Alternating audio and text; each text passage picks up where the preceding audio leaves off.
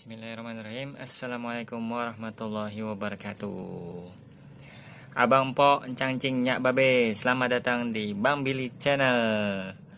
Ya di sini channel ini kita akan membahas seputaran dunia otomotif Tentang review spare part, tips and trick Dan ya tentang otomotif deh pokoknya.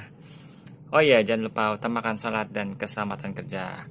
Jika ada kritik, saran, dan mau tanya-tanya, uh, langsung aja ke Instagram Bang Billy, yaitu Billy21989. Ya, terima kasih dan selamat menonton. Bismillah, kali ini Bang Billy kedatangan sepeda motor Honda Beat, Beat injeksi tahun 2017.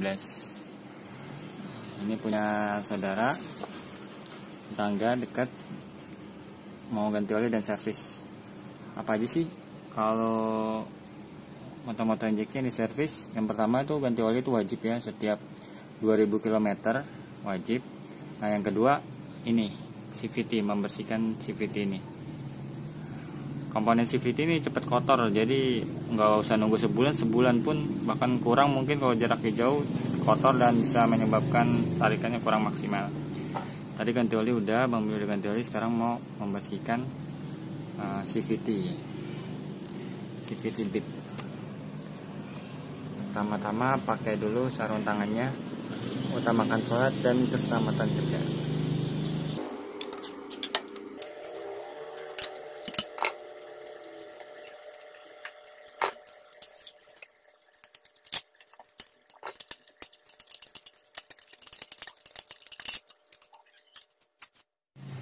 Setelah covernya dibongkar sini kelihatan kotor banget nih banyak debu. Ini nah tuh kotor banget sampai begini debunya. Ini juga bagian bearing. Sini kotor banget tuh. Dan banyak debu nanti bang beli bersihin semua. Ini ada sedikit catatan ini udah mulai retak nih. Nah, itu tuh. Udah mulai retak. CVT nya karet atau fan beltnya ini tak Bang Bilu pananya ini sama pemiliknya udah ganti terakhir ganti kapan gitu. Uh, ke fan belt ini uh, Bang Bilu saranin maksimal itu 2 tahun. Satu tahun atau dua tahun itu maksimal banget dua tahun mesti ganti fan belt. Karena uh, ini bisa putus atau ininya jadi kecil kan lebih tipis sama lama ini tipis dan nggak gigit di sini jadi tarikannya Eh, nggak uh, enak ya gitu. Jadi kayak melos gitu. Jadi tarikannya nggak enak tenaganya berkurang jauh karena ininya nipis sama lama ini. Sekarang bang Bill mau bongkar bersihin nggak asal semprot ya. Bang Bill mau bersihin pakai lap atau pakai sabun kalau emang ada olinya biar lebih bersih. Lihat debunya masya Allah ini tebal banget debunya tuh. Subhanallah ya bumbunya tebal. Nih Bang Bil mau buka pakai kunci ini. Buka dibersihin dalamnya jadi dikasih gemuk. Jamplas kalau perlu balik. Nah terus yang bagian ini uh, puli belakang ya? Tuh. As puli belakang tuh goyang ini. Nanti Bang beli info deh ke pemiliknya nih. Mau diganti nggak bearingnya tuh? Goyang begini harusnya nggak boleh goyang ini. Ini udah aus bearingnya nih kampas gandanya udah bang beli copot. Ini ada sirklipnya tadi. Sirklip namanya ini. Ini eh, hati-hati uh, nyopotnya maksudnya. Maksudnya hati-hati jangan sampai hilang karena bang beli pernah hilang. Ini nyarinya cukup sulit. Ukuran 7 mili untuk bit. Ini dibuka. Nah setelah itu buka uh, ini spring. Resentri karet sentrinya.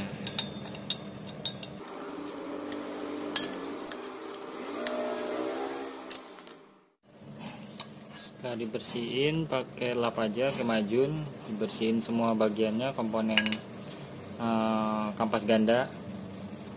Terus uh, dikasih grease. Membeli beli grease di sini grease CVT dari produk AHM Oil juga. Untuk memudahkan pergerakan ini ya. Pergerakan kampas gandanya. Nah ini dikasih grease di sini. Biar lebih responsif. Tarikannya lebih responsif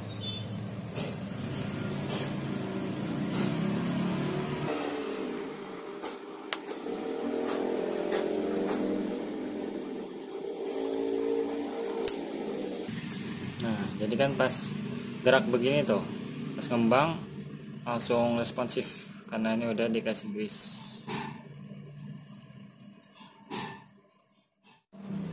Setelah selesai dibersihkan dan diberi grease di bagian sininya tadi. Nah, kemudian dirakit lagi dan memasang sirklipnya jangan seperti ini ya ini sirklipnya ada keluar jadi kalau dia berputar uh, gaya sentrifugal maka ini sirkuitnya bisa lepas.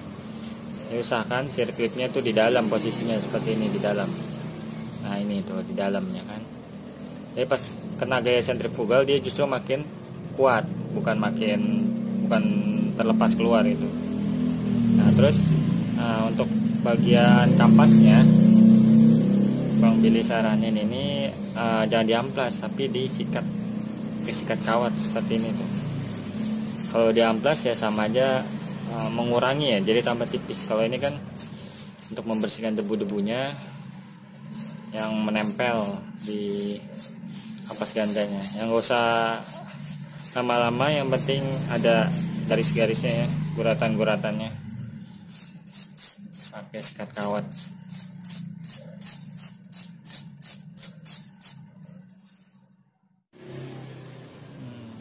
cukup lumayan kotor bagian puli depan. Lo rollernya juga udah nggak bagus ya udah tuh. Udah agak peang udah nggak bulat lagi. Rollernya ini udah mesti ganti. Ini juga pet pet slice nya atau slider ya bengkel-bengkel bilang slider. Ini udah agak kendor.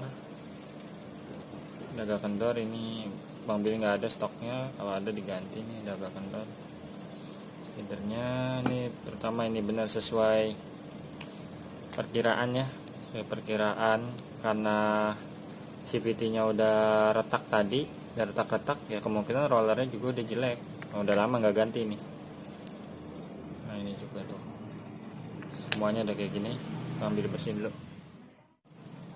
Sedikit tip dari Bang Billy tips cara masang roller yang benar. Itu ini ini bagian yang ada ini ya agak tebel ya ininya. Yang ini besinya lebih kelihatan ya agak tipis bantalannya gitu. Bantalannya ini ini agak tebel ini ngadap ke ini putaran ke ke sini kan putaran putaran mesin. Berarti dia nah ini ngadap ke sini. Ngadap ke sini. Nah jadi kan pas putaran mesin ini dia kedorong. Nah ini bantalannya lebih bisa menahan jadi nggak cepat rusak rumah rollernya ini saya cepat menahan. Nah ini semua seragam. Kan begini motornya ke depan. Semua masangnya begini sama. Nah, ini juga.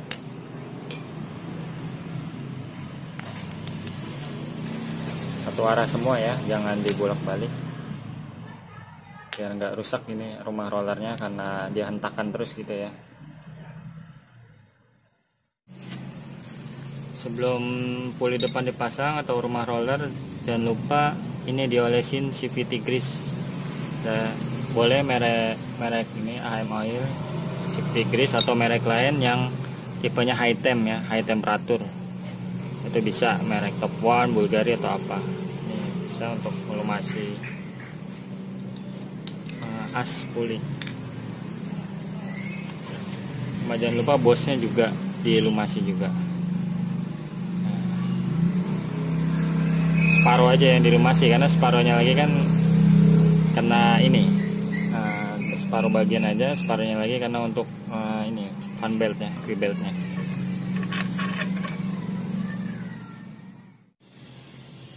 Bagian ini juga perlu dilumasi as puli belakang yang nyentuh ke bearing. Ini goyang ini harus ganti nih nanti di video berikutnya mungkin nanya si abang pemiliknya dulu nanti abi bang Billy videoin lagi kalau pemiliknya mau ganti ini harus diganti. Alhamdulillah selesai udah bang beli rakit lagi CVT nya tinggal pasang cover. Ya sekian aja video dari Bang Billy. Mudah-mudahan bermanfaat. Bagi abang-abang kalau ada komen kritik saran langsung aja sekian aja. Jangan lupa like dan subscribe nya Assalamualaikum warahmatullahi wabarakatuh. Jangan lupa sholat